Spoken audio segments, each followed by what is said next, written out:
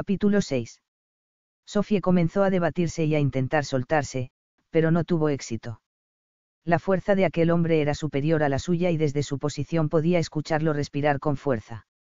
El olor que la envolvió le hizo dar una arcada, pues el hombre la sujetaba parecía no haber probado el agua en meses. ¿Qué tenemos aquí? La voz que llegó a sus oídos no era conocida para ella, por lo que supuso que no se trataba de ningún hombre de los Sinclair o al menos no uno de los que había en el grupo. Los latidos de su corazón fueron aumentando al verse sola e incapacitada para pedir ayuda. A varios metros de ellos los Sinclair aún luchaban con los Sutherland y vislumbró a Edwin y a Gael muy lejos de ella. Así que los malditos Sinclair viajan con un suave conejito, aquel hombre arrastraba las palabras. ¿Acaso eres la putita de alguno de los hermanos? Creo recordar que a su hermana ya la matamos.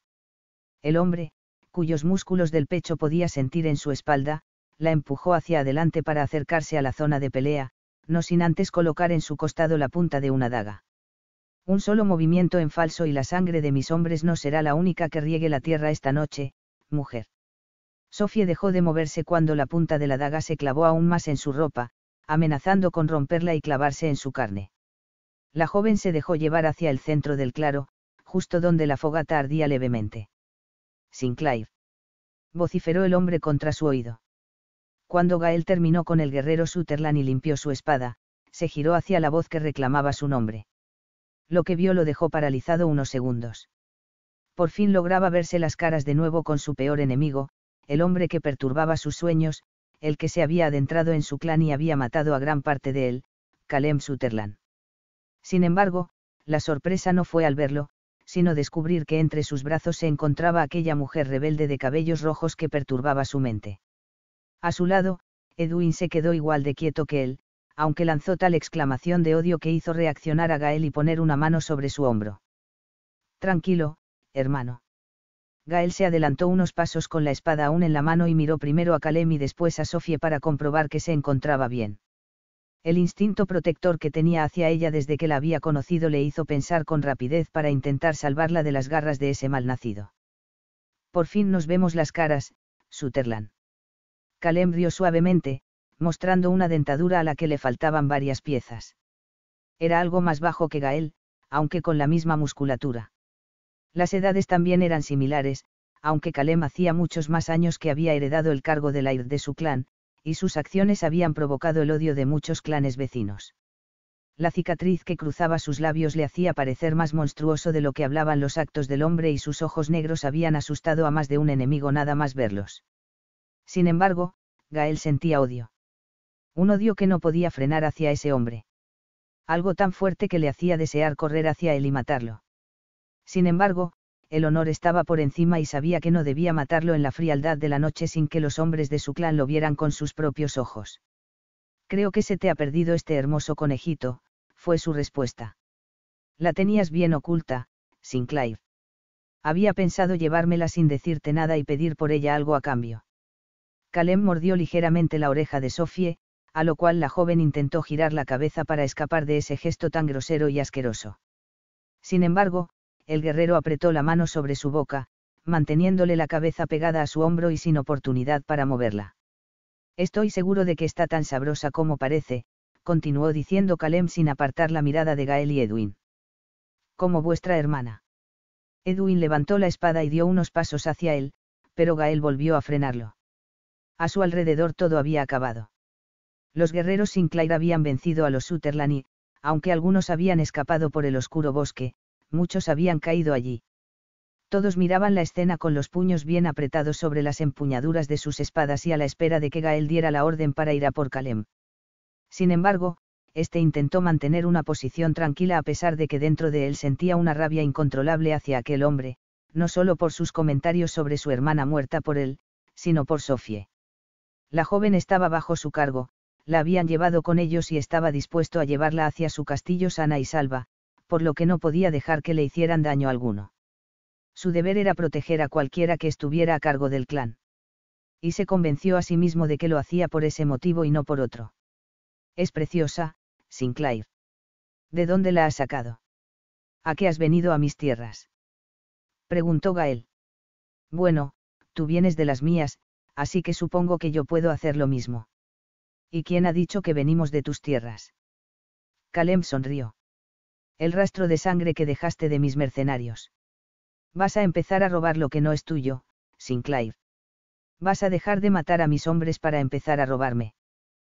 Calem rió con su propio comentario. Solo te hago pagar lo que hiciste con mi gente, Sutherland. Aprovechaste la muerte de mi padre para entrar en nuestras tierras y matar a mujeres y niños desprotegidos. Si querías guerra, debiste declarármela antes de matar a inocentes. Y ahora, si quieres pelear, suelta a la chica y pelea con alguien de tu tamaño. Calem dio un paso hacia ellos y apretó la daga contra Sofie, que gimió de dolor al tiempo que cerraba los ojos, esperando que le asestara el golpe mortal con el filo de la hoja. ¿Qué pasa? Es tan importante esta furcia que te pones nervioso. ¿O es importante para tu hermano?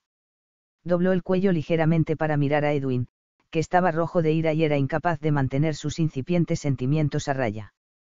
Te equivocas, Sutherland. No es importante para ninguno de nosotros. La encontramos ayer malherida en el bosque. Así que puedes matarla si quieres. Y espero, por tu bien, que después te alejes de nosotros para siempre. Sofía abrió los ojos de golpe. No esperaba escuchar aquellas palabras de Gael e incluso pensó que había escuchado mal. Enseguida buscó su mirada, y la frialdad que mostraban sus ojos le confirmó que aquellas palabras habían sido reales, así que esperó morir en cualquier momento. No supo por qué, pero se sintió decepcionada con él e incluso consigo misma. Se golpeó mentalmente tras haber albergado, sin querer, ciertos sentimientos que hacía tiempo que no sentía, ni siquiera últimamente con Adrien había sido así. Aquel guerrero la atraía y enfurecía al mismo tiempo a pesar de conocerlo tan solo un día pero había algo especial en él, algo que la hacía querer descubrir más sobre su vida. Sin embargo, en ese momento supo que todo era una torre de naipes, que todo lo vivido en el día y las palabras de llevarla al castillo para interrogarla eran mentira. Había mentido solamente para usarla en ese momento como moneda de cambio. Y no podía creer la frialdad con la que trataba el tema de la muerte. ¿Acaso su vida valía tan poco que no merecía ser protegida? Los ojos de Sofía se llenaron de lágrimas, haciendo que la figura de Gael se viera borrosa y dejara de ver su rostro. A pesar de todo, durante el día se había sentido protegida entre aquellos hombres que ahora esperaban para verla morir a manos del que parecía ser su enemigo. Y fue en ese momento cuando se dio cuenta realmente de lo sola que se sentía en ese país desconocido y en ese tiempo del que apenas conocía nada. La joven dejó escapar las lágrimas, gimiendo de puro dolor al sentir que su alma y su corazón se rompían como nunca lo habían hecho. ¿Estás seguro de que quieres verla morir? Preguntó Calem apretando con más fuerza la daga. Sería una lástima que esta zorra no pruebe a un verdadero hombre antes de reunirse con nuestro creador. Calem llevó la mano que apretaba su boca hacia el pecho de la joven, palpándolo con tanta fuerza que Sofía sintió un rayo de dolor. Hijo de puta. Le gritó al verse a las puertas de la muerte. Espero que te corten las manos y se las echen a los cerdos. Calem rió por su comentario. Vaya. exclamó. Valiosa pieza esta mujer, sin duda, Sinclair. Gael estaba sorprendido por la valentía de aquella mujer. No podía creer que de su fina boca, que parecía hecha exclusivamente para besar, salieran aquellas palabras dignas de cualquiera de sus hombres. ¿Y con cuál de los dos os acostáis, mujer? Con el lairdo con su querido hermano pequeño. Preguntó en voz alta para que todos lo escucharan. Tal vez con los dos. Señaló con la daga a Edwin. La quieres para ti. Ya está bien, Sutherland. Intervino Gael dando un paso más hacia ellos y quedándose a solo otro par de pasos. Estoy cansado de tu juego. Suelta a la chica si quieres seguir con vida. Calem sonrió y acercó la boca al oído de Sofie para hablarle exclusivamente a la joven. Así que sois importante para ambos hermanos, dijo lentamente. Interesante. Seguidamente, apartó los brazos de Sofía y la empujó contra ellos. Sofía trastabilló y estuvo a punto de caer si no llega a ser por los brazos de Edwin, que la acogieron con ternura para abrazarla con fuerza e intentar darle consuelo. Está bien, Sinclair. No vuelvas a mis tierras si quieres que tus mujeres y niños sigan a salvo. Acto seguido, dio la vuelta y regresó a la oscuridad que le proporcionaba el bosque, aunque con una sonrisa en los labios que no auguraba nada bueno. Cuando todo quedó en silencio, Gael se dio la vuelta al tiempo que guardaba la espada en el cinto. El resto de sus hombres comenzó a dispersarse al ver que su jefe no iba tras Calem Sutherland mientras que Edwin se mantuvo quieto con Sofía aún en brazos. Lo que Gael sintió al ver a la joven en brazos de su hermano no era nuevo para él. Comenzó en su pecho y poco a poco fue extendiéndose por todo su cuerpo. Un ataque de celos lo invadió por completo, y necesitó respirar un par de veces para intentar calmarse, ya que su hermano no tenía la culpa. Y desde su posición, se limitó a mirar a Sofie, que aún tenía lágrimas en los ojos y se veía tan pequeña en ese momento que habría apartado a su hermano de un empellón para ser el quien ocupara su lugar. ¿Te ha hecho daño, muchacha? Preguntó aparentando frialdad. Sofía volvió la cabeza hacia él y lo miró con auténtico odio en los ojos. La joven se separó de Edwin y caminó hacia él sin apartar la mirada hasta que llegó frente a él y le dio una sonora bofetada que dejó a todos los hombres del claro más que sorprendidos. Como bien has dicho antes, no soy importante para nadie, así que no hace falta que actúes como si lo fuera, dijo con rabia. Ese hombre que dices es tu enemigo no me ha hecho más daño del que me has podido hacer tú tratándome como escoria y atándome las manos como si temieras que fuera a matarte en cuanto te des la vuelta.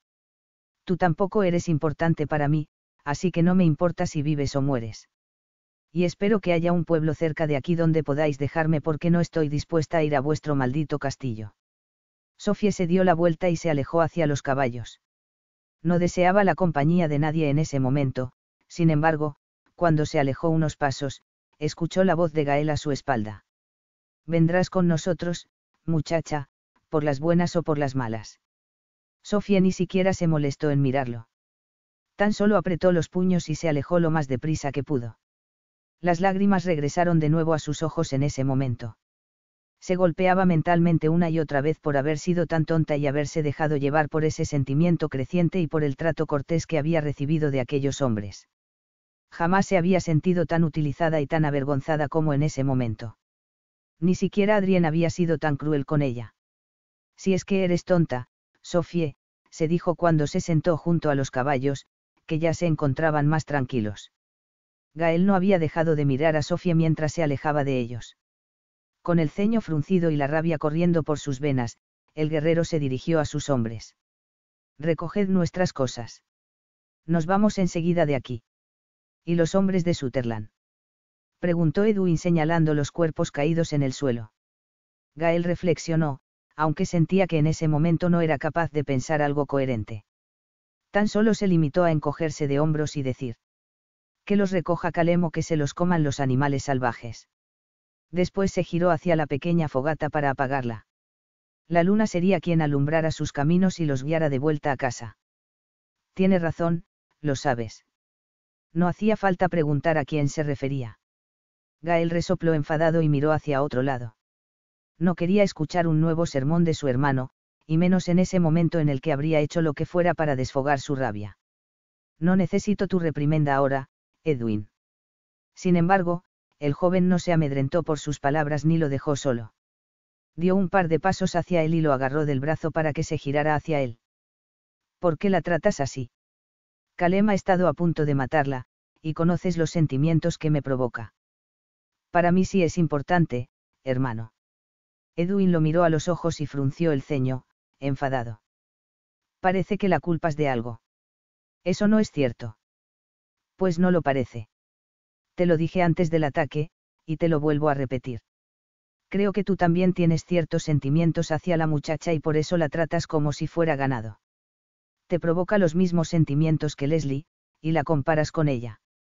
Me da la sensación de que la tratas así solo para que se aleje de ti, pero lo único que consigues es desearla aún más. Dime que no es cierto y seré yo quien la corteje. Gael levantó la mirada y la sostuvo durante unos momentos descubrió que Edwin estaba hablando en serio y tenía intención de llevar a cabo sus palabras. Gael apretó los puños y se mantuvo callado durante unos momentos en los que su hermano estaba expectante por su respuesta. Haz lo que quieras, dijo finalmente. Edwin sonrió tristemente. Antepones tu orgullo a lo que sientes, respondió. Muy bien, hermano. Espero que no te arrepientas por ello. El joven se alejó de Gael, dejándolo solo y maldiciendo todo y a todos en ese momento. Y más aún cuando vio que su hermano se dirigía hacia los caballos y hablaba con Sofía de algo que logró sacar una sonrisa a la joven. Solo en ese instante se permitió dar una patada a las ascuas de la fogata, extendiéndolas por el claro. Estaba tan cansada que temía caer del caballo en cualquier momento. Al comienzo de la noche había sido arrancada de los brazos de Morfeo debido al ataque de los Sutherland y desde entonces había tenido los ojos como platos. El nerviosismo le había impedido dormir después de montar los caballos. No sabía cuántos kilómetros habían recorrido cuando el alba comenzó a despuntar. Durante toda la noche, los hombres Sinclair habían estado callados, supuso que metidos en sus pensamientos o vigilando que no volvieran a ser atacados, incluso Edwin había estado más callado de lo normal. De vez en cuando lo miraba de reojo y éste le devolvía la mirada para sonreírle, lo cual la tranquilizaba, pues temía que estuviera enfadada con ella la única persona que había mostrado algo de agrado desde que se vio obligada a acompañarlos. Así que como no podía dormir, durante la noche, se dedicó a observar a los hermanos Sinclair. Le dio la sensación de que después de que Calem se fuera del claro ambos habían peleado, aunque no logró escuchar el tema, pues ella se encontraba junto a los caballos. Pero el gesto enrabietado que mostraba Gael desde entonces le confirmó que así era. A veces miraba hacia atrás y le dedicaba una mirada cargada de intenciones a Edwin, aunque éste se limitaba a levantar la barbilla y seguir con la mirada fija en un punto delante de ellos. Por eso, cuando el alba llegaba después de una noche bastante larga, Sofía no pudo aguantar más la tensión del grupo. ¿Ha pasado algo entre Gael y tú? Le preguntó en voz baja a Edwin, que cabalgaba a su lado. Se os ve enfadados. Edwin la miró e intentó sonreír, sin éxito. Nada de lo que debáis preocuparos, muchacha. Diferencia de opiniones entre hermanos. Sofía sonrió. En este tiempo también hay peleas de ese tipo, dijo para sí. ¿Cómo decís? Le preguntó Edwin, que había escuchado su observación. Sofía negó con la cabeza y se encogió de hombros, restándole importancia a lo que había dicho. Este audio fichero fue creado por Panopreter. Lo obtiene de www.paneopretr.com. Nada, una tontería. Por cierto, ¿por qué no me tuteas? Me resulta muy incómodo que me hables así. ¿No preferís que os trate con respeto? Sofía rió suavemente. No se pierde el respeto si me tuteas. Está bien. Os trata. Te trataré como desees. Una sonrisa sincera asomó en los labios de Edwin y a Sofía le dio la sensación de que había algo más tras ella. Edwin aproximó el caballo al de la joven para decirle. Sois eres muy extraña, Sofía Blanc. Tu manera de hablar, de moverte y tu vestimenta son demasiado raras. Sofía se puso nerviosa y carraspeó, incómoda. No sabía cómo contestar a eso, ya que si le decía que había viajado al pasado, la tomarían por loca. Bueno, la moda en Francia es diferente, dijo antes de mirar a otro lado. ¿Estás casada? El cambio de tema y lo directa de su pregunta la tomaron por sorpresa. Sofía miró a Edwin, que esperaba, pacientemente, su respuesta y en ese momento se dio cuenta de los derroteros que estaba tomando la conversación, y las intenciones de Edwin. Hasta entonces el guerrero había sido el único que había entablado conversación con ella y la había aceptado sin pensar que era un espía. Y ahora entendía el motivo, ya que la urgencia que había mostrado el joven al formular la pregunta le descubrió sus sentimientos. Número. Hace poco mi prometido y yo rompimos nuestro compromiso. Tan centrada estaba en la conversación con Edwin que no se había dado cuenta de que Gael se había quedado ligeramente hacia atrás y escuchaba con atención todas sus palabras. ¿Por qué? Bueno, me di cuenta de que no me trataba de la misma manera que yo a él y decidí que merecía algo mejor. Edwin sonrió. Tal vez encuentres el amor en Escocia. Edwin. Vociferó Gael llamando su atención. El aludido suspiró, contrariado, y se disculpó con Sofía para adelantarse y poner su caballo a la altura de su hermano. Sofía estuvo el resto de camino sola. Desde que Gael había reclamado la presencia de Edwin junto a él, la joven se entretuvo mirando el paisaje y a punto de dar cabezadas a lomos de su caballo. Sin embargo, se obligó a mantenerse despierta y a memorizar el camino de vuelta por si podía escapar en cuanto tuviera una mínima oportunidad. Pasadas un par de horas, cuando pensaba que el cansancio y el aburrimiento podrían con ella, frente a ella se mostró algo que ya conocía y que desde hacía poco le pertenecía. Algo que hizo que sus ojos se abrieran de golpe, despejando su cabeza de las telarañas que le producía el sueño. Frente a ellos se alzaba, victorioso y entre brumas, el castillo Sinclair, aunque era ligeramente diferente al que ahora tenía ella, ya que todas las torres y la muralla estaban en perfecto estado. Además, alrededor del castillo había un pequeño pueblo del que en su tiempo ya no quedaba ni rastro, pero allí estaba. Casi un centenar de casas humeaban por la chimenea, indicándole a Sofie que estaban habitadas. Habría corrido hasta ellas de no ser porque sentía que las manos estaban ateridas debido al frío de ese amanecer. El día parecía que iba a estar rodeado de fría y húmeda niebla que ya había comenzado a empapar las ropas de los guerreros y la suya propia. El pelo de la joven comenzó a pegarse a su piel y el frío parecía querer colarse entre sus ropajes. Pero no le importó. Estaba tan absorta con la belleza de su propio castillo siglos atrás que no era consciente de nada más ni siquiera de la mirada inquisitiva y llena de intenciones de Gael. Solo era consciente de lo que había ante sus ojos. Y a pesar de todo, Sofía sonrió. Aunque se encontrara en otro tiempo, aquel castillo era su hogar, y ahora tenía la oportunidad de verlo en todo su esplendor. ¿Por qué sonríes, muchacha? Sofía dio un respingo y la sonrisa se borró de sus labios al instante no se había dado cuenta de que Gael la había esperado hasta ponerse a su altura después de enviar a Edwin al castillo para que tuvieran todo preparado para su llegada. Cuando la joven vio a Edwin partir, se sintió pequeña entre los demás hombres, especialmente al lado de Gael. Sin embargo, las dolorosas palabras que había pronunciado a Calem sobre ella aún seguían en su cabeza, provocando que levantara el mentón y lo mirara con odio. Eso no es de tu incumbencia, respondió. Lo es si estabas pensando en que ya queda poco para llegar al lugar donde ibas a espiar. Sofía lo miró de nuevo.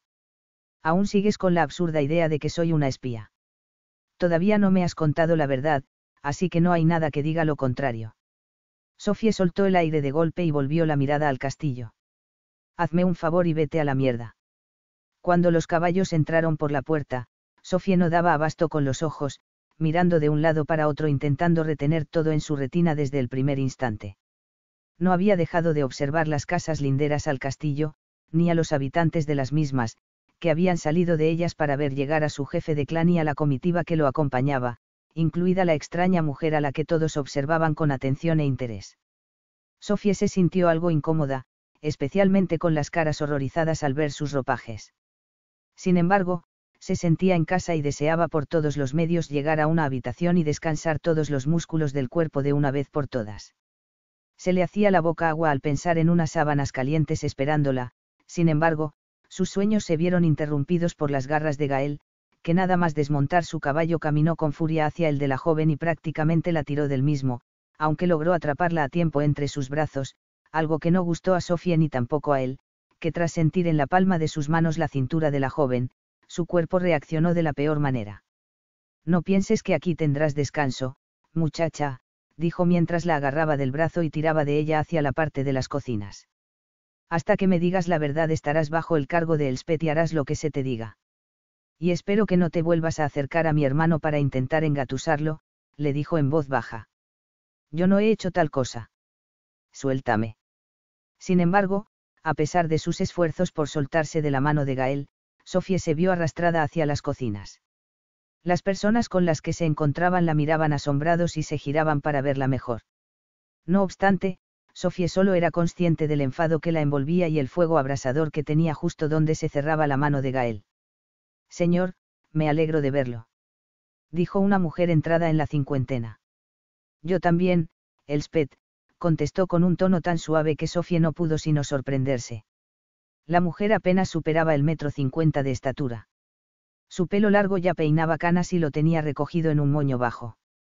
Las facciones de su rostro eran suaves y la dulzura de sus ojos azules parecía traspasar a Sofie. Su cuerpo estaba entrado en carnes, pero se movía por la cocina con tanta agilidad que la joven se sorprendió. Y cuando la mujer se paró frente a ella y la miró con ese amor en los ojos, Sofía no pudo evitar sonreír con sinceridad. Hacía demasiado tiempo que nadie la miraba de esa manera y Elspeth parecía darle la bienvenida con ese gesto. Tenemos invitada. Sí, es Sophie Blanc. Estará en el castillo por un tiempo y deseo que esté a tu cargo. Pero es invitada o prisionera. Le señaló la mano aferrada al brazo de la joven. Gael la soltó en ese momento y carraspeó, incómodo. Durante unos momentos, Sofía esbozó una pequeña sonrisa, aunque enseguida la escondió para que el guerrero no fuera consciente de ella. Sin embargo, Elspeth sí la vio y le guiñó un ojo cuando Gael miró hacia otro lado. Desde ese momento, Sofía supo que tenía ante ella a una buena amiga y confidente. Elspeth te dirá lo que debes hacer, le dijo mientras daba un paso hacia atrás. Y espero que no le des problemas, a no ser que los quieras tener conmigo. Sofía no contestó, sino simplemente se metió las manos en los bolsillos, pues aún las sentía demasiado frías, y miró hacia la chimenea, donde había un caldero con lo que parecía ser un buen asado dentro, lo cual provocó que su estómago rugiera debido al hambre. Parece que estuvieras a punto de desfallecer, muchacha, le dijo la cocinera. Toma asiento. Te prepararé un caldo caliente con el que llenar el estómago y coger fuerzas. Este audio fichero fue creado por Panopreter. Lo obtiene de www.paneopretr.com. Después iremos a ver tu habitación y a darte una ropa más adecuada. Dejándose llevar, Sofía se sentó sobre una de las sillas más cercanas a la chimenea, permitiendo que el calor comenzara a entrar en sus huesos y relajándola de tal manera que estuvo a punto de dormirse. Cuando te comas esto, podrás descansar. Ya tengo todo lo del día repartido entre los demás sirvientes, muchacha. No pasará nada si empiezas mañana. Gracias, Elspeth, dijo con sinceridad. Después de la increíble comida que le había preparado Elspeth, Sofía sentía sus fuerzas renovadas, aunque el sueño comenzó a vencerla poco a poco y sentía que estaba a punto de caer al suelo en cualquier momento. ¿Qué has hecho para que Gael te haya traído? Le preguntó la mujer mientras retiraba el plato y se disponía a fregarlo. Sofía se encogió de hombros. Realmente nada. Supongo que cruzarme con él cuando menos debía. ¿A qué te refieres? Me había perdido en el bosque y fui a parar justo donde estaba el grupo matando a unos mercenarios, según dijeron. Gael me persiguió por el bosque y caí. Y lo siguiente que recuerdo es que estaba con las manos atadas y obligada a venir aquí. Y aún así nuestro jefe te ha tratado como invitada. Interesante, muchacha. Sofía estaba tan cansada que no vio la mirada cargada de intenciones que le estaba dedicando en ese momento la cocinera ni tampoco la sonrisa enigmática que apareció en sus labios y que se borró de golpe cuando la puerta de la cocina se abrió y entró una nueva persona. ¿Se puede saber qué haces aquí, Leslie? Sabes que el señor no quiere que andes por el castillo. Debido al cambio de tono de Elspeth, Sofía levantó la mirada para ver a la joven que acababa de entrar en la cocina parecía tener su misma edad y una cara de porcelana de la que cualquiera se habría enamorado al instante. Su cabello estaba recogido en una trenza y sus enormes ojos azules la observaban con curiosidad y algo que parecía ser resentimiento.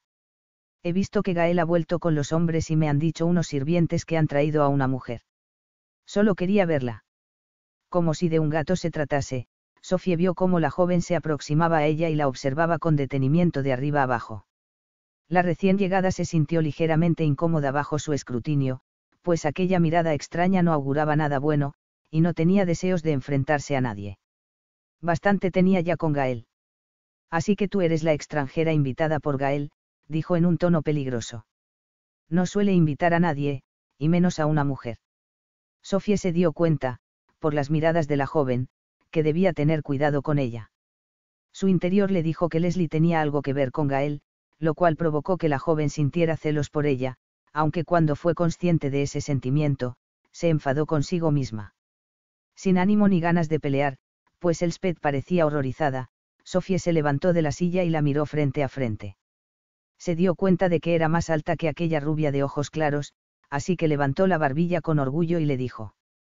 Tengo la sensación de que mi presencia en el castillo te incomoda. Si tienes algún problema, coméntaselo a tu querido Gael, aunque Elspeth ha dicho que no quiere verte por aquí. Tal vez sea mejor que yo misma se lo diga.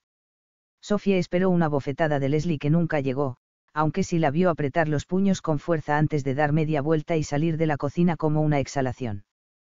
Tened mucho cuidado con Leslie, jovencita, le advirtió Elspeth. Esa muchacha aún cree que Gael volverá con ella, y por lo que he visto, está celosa de ti. Esas palabras sacudieron el corazón de Sofía, que miró inquisitiva a la mujer. Es la novia de vuestro jefe. Lo fue. Hace un par de años estuvo a punto de casarse con él, pero después de todo lo sucedido con los Sutherland, Gael la descubrió en la cama con uno de sus mejores amigos. Ahora la recordaba. El libro que había encontrado en el despacho del castillo y que estaba escrito por Donald Sinclair hablaba de ella. Leslie. Ya recordaba su nombre y su historia. Así que por culpa de aquella mujer el carácter de Gael había cambiado por completo, volviéndose más serio y gruñón. La odió. Volvió a recordar el encuentro de hacía unos momentos y la odió. Antes de recordar su historia ya le había caído mal, pero ahora la cosa había cambiado. Elspeth tenía razón. Debía tener cuidado con ella, pero no solo por los celos enfermizos que parecía tener Leslie, sino porque los sentimientos que le provocaba Gael podrían hacer que enfureciera e hiciera cualquier cosa en su contra. ¿Y por qué sigue en el castillo? Por petición de Edwin. Tiene un alma demasiado buena ese muchacho. Y no se dedica a nada. La mujer torció el gesto. Dicen que es hechicera y que ayuda con hierbas a quienes necesiten curar algún mal. Sin embargo, si queréis mi opinión, lo único que hace es entrometerse y sembrar el mal allá donde va. Vos sois diferente, muchacha, Gael se dará cuenta de ello. Estoy segura. Sofía frunció el ceño y la miró sin entender, pero la mujer se limitó a sonreír y señalarle la puerta para que la siguiera. La joven lo hizo sin rechistar. Apenas fue consciente de lo que había a su alrededor y se prometió a sí misma recorrer el castillo para comprobar cuánto había cambiado respecto a su tiempo. Pero sus huesos no podían soportar más su peso.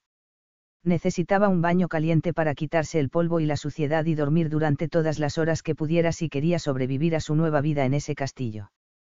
Por eso, cuando subieron las escaleras y entraron en una de las habitaciones más cercanas a la del jefe, que era donde ella había dormido en su tiempo, Sofía se sorprendió de la decoración, algo que no había llegado al siglo XXI. Esta es la habitación de Bueno, la hermana del señor. La conocía desde que nació. Todos la echamos de menos. Llevas mucho tiempo aquí. Casi toda mi vida. He visto nacer y crecer a los tres hermanos, aunque Gael ya no es el mismo. Pero sé que algo va a cambiar ahora que estás aquí. Elspeth miró a su alrededor con un deje de tristeza en los ojos, aunque enseguida sonrió. Mandaré a dos de las muchachas para que preparen un baño y podáis descansar, dijo antes de que Sofía pudiera preguntar por la antigua inquilina de la alcoba o del misterio que encerraban sus palabras. Antes de marcharte, me gustaría pedirte una cosa. Esperó hasta que la mujer asintió. Tuteame, por favor. Puedes llamarme Sofía. Elspeth sonrió y asintió. Después la dejó sola y Sofía escuchó su voz a solo unos pasos del dormitorio mientras pedía a un par de sirvientas que llevaran una tina con agua caliente.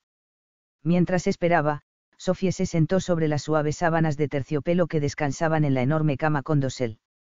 La joven estaba maravillada. Se encontraba en una auténtica habitación del siglo XVII y su decoración era exquisita. El cabecero de la cama era de madera labrada y en el centro estaba tallada la imagen de un caballo sobre dos patas.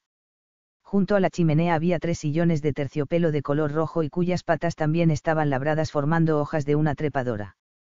Sobre la chimenea, un cuadro con una escena campestre parecía invitar a Sofía a disfrutar de sus vistas y en las paredes restantes, dos grandes telares pendían del techo con escenas de lo que parecía ser una fiesta en la corte del rey.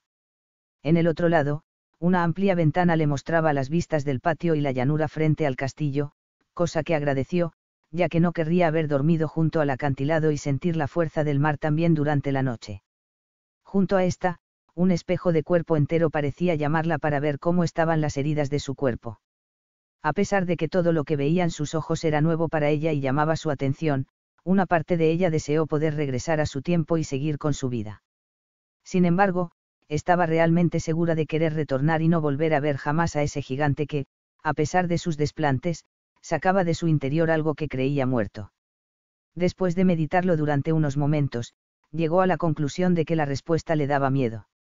Instantes después, las doncellas llamaron a la puerta y entraron con todo lo necesario para su baño, incluso una de ellas se dirigió hacia el baúl que había a los pies de la cama y lo abrió para sacar un precioso vestido de color amarillo y depositarlo sobre la cama con cuidado.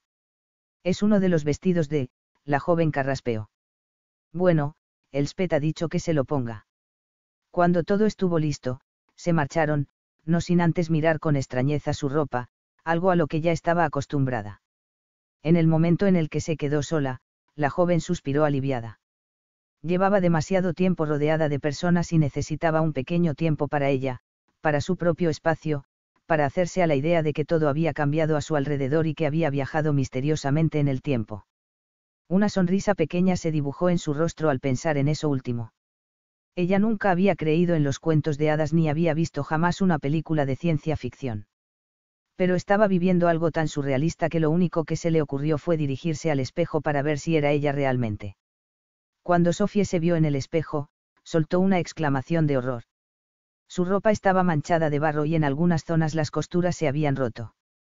Lentamente, frente al espejo, comenzó a desnudarse hasta que se quedó únicamente con el colgante en su cuello.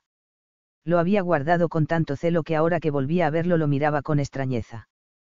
Tenía la sensación de que ese colgante era el culpable de que ella estuviera allí, y quería saber por qué. Para evitar problemas con Gael, se dirigió al baúl y lo guardó en el fondo del mismo.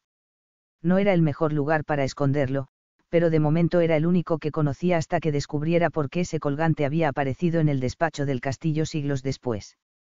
Acto seguido, fue sin dudar hacia el agua caliente, que parecía llamarla insistentemente. Cuando todo su cuerpo estuvo cubierto por el líquido, Sofía cerró los ojos y disfrutó de la sensación de que su piel estaba limpia de barro y polvo. No le importó en ese momento la cantidad de hematomas que había por todo su cuerpo debido a la caída por el desnivel de tierra cuando Gael la perseguía por el bosque. Tan solo necesitaba respirar en paz y lavarse. Aquello la estaba superando ligeramente y todo su ser debía adaptarse a la situación. Sin embargo, el descanso y la paz le duraron poco, ya que la puerta se abrió de golpe y volvió a cerrarse con un sonoro portazo. Sofía abrió los ojos de golpe, asustada y miró en dirección a la puerta. Al instante, la paz que sentía se vio desplazada por una incipiente ira debido a aquella interrupción. ¿Qué demonios haces en esta habitación? bramó Gael mientras se acercaba a la bañera. Sofía se cubrió al instante el cuerpo desnudo e intentó hundirse más en el agua. Sin embargo, la escasa espuma dejaba al descubierto su piel, algo que no pasó desapercibido para Gael, que se distrajo un segundo con el cuerpo de Sofía. ¿Y tú por qué no has llamado antes de entrar? Cualquier persona tiene prohibido entrar aquí, y menos habitarla, siguió sin hacer caso a su pregunta. ¿Se puede saber qué artes has empleado con el SPED para convencerla de que te deje esta alcoba? Ha sido decisión suya, levantó la voz la joven, enfadada. Así que si quieres, habla con ella, pero vete ahora mismo y déjame disfrutar de mi baño. Y si quieres hablar conmigo, espera a que me vista. El hecho de que haya decidido dejarte en el castillo como invitada no te da derecho a usar las habitaciones principales, y menos a usar nuestras bañeras. La próxima vez que desees bañarte, ve al río. Sofía abrió la boca mientras apretaba con fuerza los puños contra su piel. Me has traído aquí sin mi consentimiento y, para colmo, me tratas como una sirvienta más a pesar de llenarte la boca diciendo que soy una invitada. Así que déjame decirte una cosa, Gael Sinclair, no soy la sirvienta de nadie y no pienso serlo.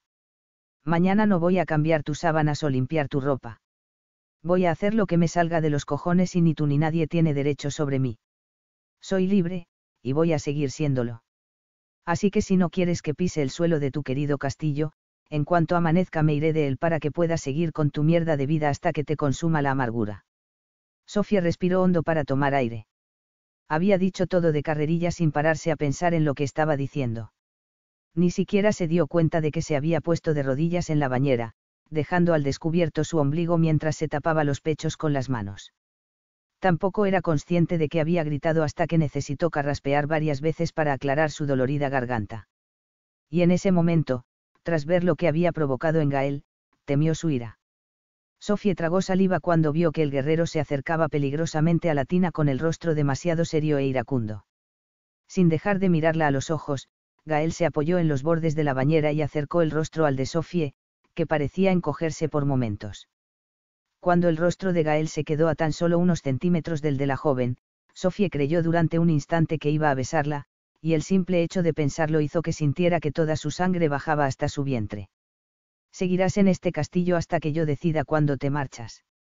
Y espero que no des problemas a nadie porque si lo haces, conocerás mi ira y desearás no haberte cruzado en mi camino descubriré quién eres en realidad y qué demonios hacías en ese bosque en medio de la noche. No te quepa la menor duda. Antes de separarse de ella, Gael dirigió inconscientemente la mirada hacia los labios de la joven, acto del que se arrepintió al instante, pues desvió su atención a algo que muy a su pesar deseaba por encima de todo. Sin dejar de mirarla, Gael salió de la alcoba de la misma forma en la que llegó, dando un sonoro portazo que hizo temblar los pocos adornos allí presentes. Cuando por fin se quedó sola, Sofía suspiró y se dejó caer de nuevo entre el agua.